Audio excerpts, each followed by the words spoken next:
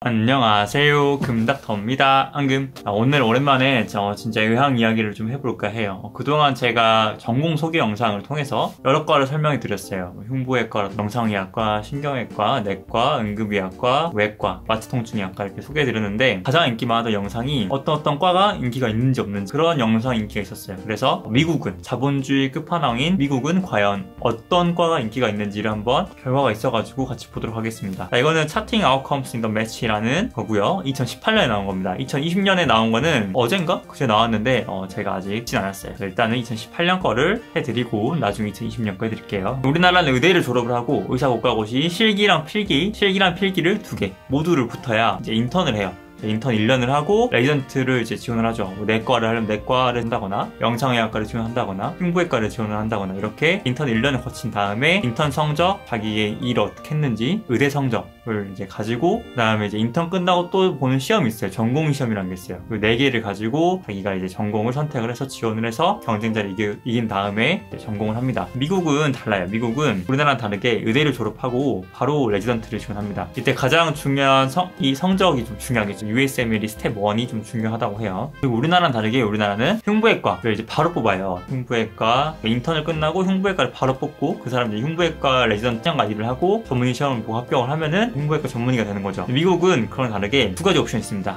흉부외과를 바로 할 수도 있고 아니면은 일반 외과를 갔다가 흉부외과를 fellowship을 할 수도 있고요. 미국 우리나라 다르게 intervention 영상의학과라는 게 있어요. intervention이 뭔지 알려면은 영상의학과 소개 글을 소개 영상을 보시면 되고 이건 우리나라 좀 다릅니다. 어쨌든 그걸 좀 감안하고 보시죠. 자, 이걸 보시면 이제 Match Rates of US Allopathic Seniors인데 발음이 좀 안 좋아요. 제 영어를 못해요. 발음이 안 좋아요. 미국에 있는 의대를 나왔다 보시면 됩니다. 보시면 이제 이게 과별 경쟁률이에요. 계산법은 합격자 수 per 지원자 수 곱하기 100이니까 지금 나와 있는 경쟁률에서 역수를 보시는 게 맞는 거예요. 그러니까 예를 들어 100명 모집에 120명을 지원한 수치가 100명 모집에 80명을 지원한 것보다 낮으니까 역수가 맞겠죠. 보시면 이제 Interventional Radiology가 58.3인데 피부과, Dermatology, 피부과가 81.6, 정형외과, Orthopedic Surgery가 82.4, 정신, Psychiatrics가 84, 외과가 General Surgery 84고 성형외과가 Plastic Surgery인데 85.7, 비뇨기과가 86, 신경외과가 86.3이다. 그 외에 이제 수치가 높은 게 신경 과 Neurology죠.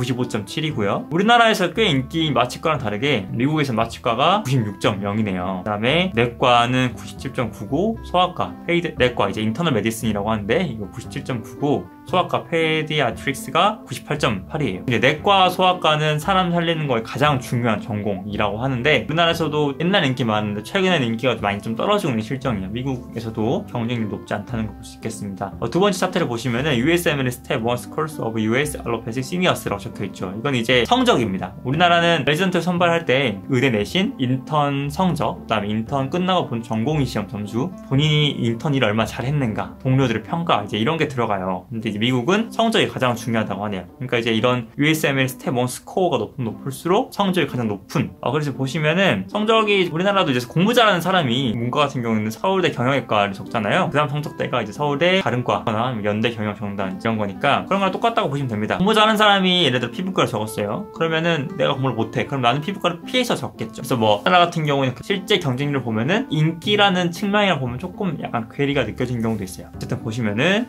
자 보시면 이제 더말 헤마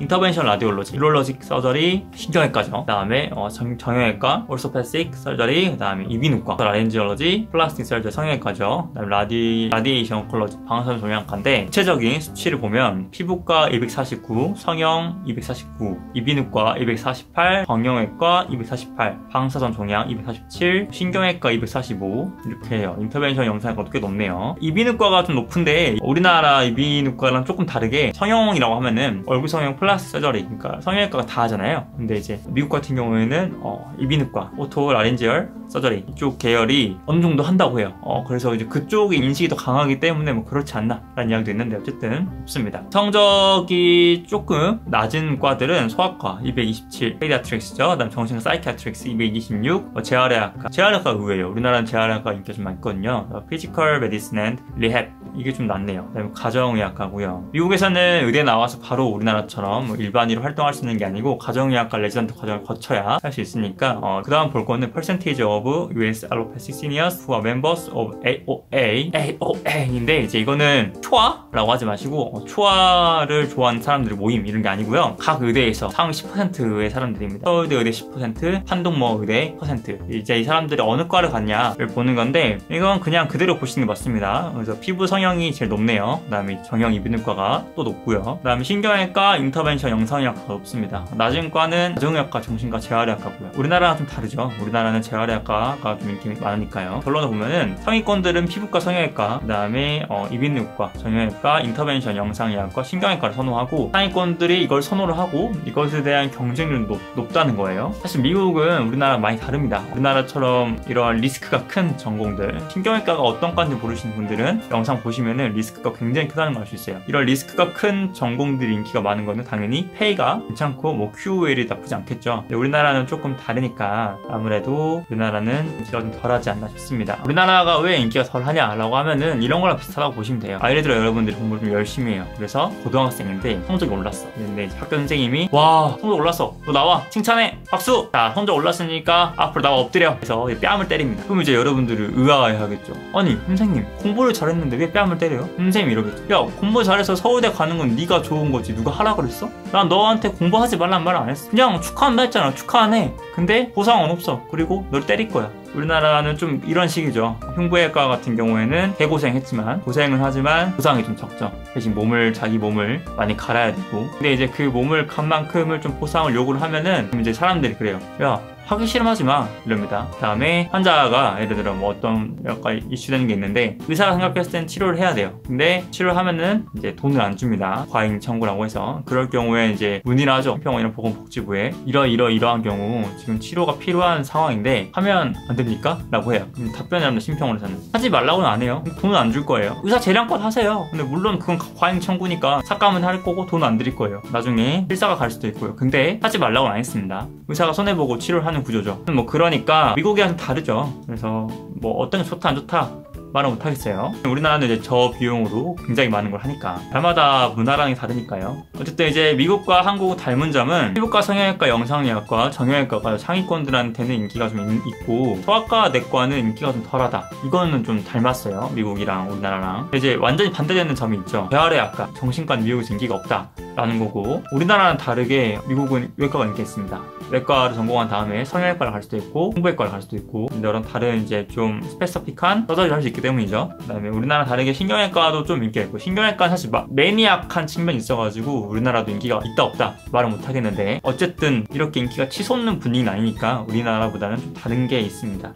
차이점으로 보면은 재활의학과, 정신과 인기가 정도 있고 그다음에 흉부외과, 신경외과 있겠죠. 보상이 다르니까. 그래도 우리나라가 전 세계에서 코로나도 많이 컨트롤하지 않았으니까 사망률도 굉장히 낮고요. 아무래도 우리나라는 그동안 내과, 외과, 청소년과, 산부인과 뭐 이런 과들을 많이 전공하셔가지고 전문의 숫자가 많이 부족하진 않아요. 네, 우리나라가 코로나 때 좀 힘들었던 거는 공공병원, 공공병원이 없던 게 문제였던 거지. 공공병원이 없어서 민간 의료원한테 던져가지고 문제였던 거지. 우리나라의 뭐 다른 시스템 자체는 괜찮습니다. 의료 대란이라는 건 사실 거의 없었잖아요. 아직까지는 돈보다 자기 몸 바쳐가지고 희생하시는 분들이 많아요. 그리고 작년에도 내과는 꽉 찼었고 신경외과나 뭐 이런 과들도 많이 찼어요. 그래서 여러분들이 생각하는 것보다 우리나라가 아직까지는 애국심이랑 의사들의 소신 이런 게 좀 강력해서 사람 살리는 전공을 많이 아직도 한다는 거. 하나도 이제 올해부터는 판도가 바뀔 거라고 생각을 해요. 그 이유에 대해서 나중에 또 다른 영상을 통해서 말씀드리도록 할게요. 오늘은 오랜만에 좀 농담이 좀 적었는데 이런 영상도 만들어야 그러면 제가 또 사람이고 개그맨이야 아니면 의사 코스프레한 사람이야 라고 하실까봐 어, 이런 이런 영상 만들어 드려야 된다고 생각을 해서 만들었습니다. 요새 우리 약간 동기들이 야 너 뭐 꽁트하더라